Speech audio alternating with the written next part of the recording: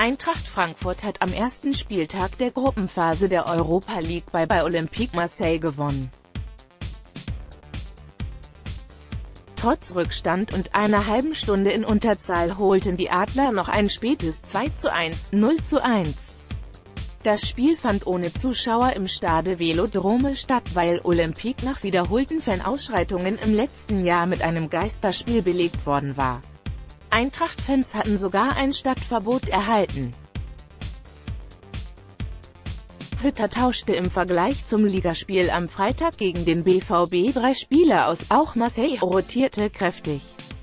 Der erste Angriff der Gastgeber führte prompt zum Erfolg, weil die Frankfurter nur Spalier standen. Die SGE zeigte sich zunächst nicht geschockt und hatte ihrerseits ein paar gute Gelegenheiten, vor allem über rechts. Im Laufe der ersten Halbzeit wurde Ohm jedoch immer dominanter. Eintracht Schlussmann Trapp musste gleich sechs Paraden zeigen, einige eingeleitet durch katastrophale Fehler der eigenen Vorderleute. Frankfurt wurde nach der Pause konsequenter, mit Ballgewinnen und Aktionen nach vorn. Der Ausgleich resultierte aus einer Ecke. Marseille in der Folge wieder stärker, vor allem über die Stars Payet und Touvon kam Lohm zu Gelegenheiten. Die Eintracht, nach einer guten Stunde in Unterzahl, ließ sich aber nicht komplett zurückdrängen und warf sich immer wieder in die gegnerische Schussbahn. In der Schlussphase hatten die Gäste auch ein bisschen Glück bei den Schiedsrichterentscheidungen, spielte es bei einem überflüssigen Ballverlust von des Vorjahresfinalisten hervorragend aus, Jovic hämmerte einen Ball zum Sieg unter die Latte.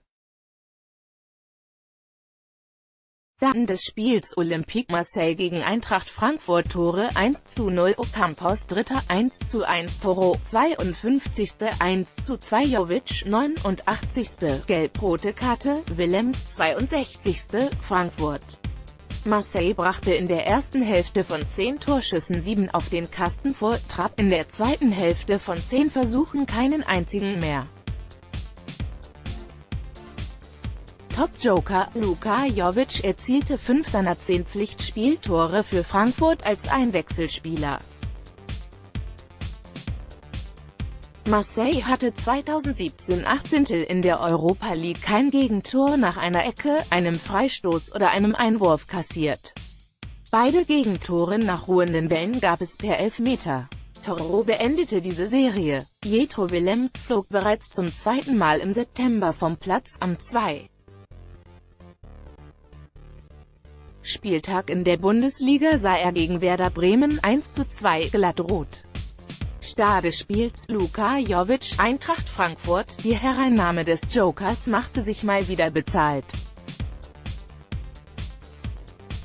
arbeitete in der zweiten Halbzeit viel nach hinten mit und hatte zusammen mit Müller trotzdem die meisten Torschüsse bei der SGE.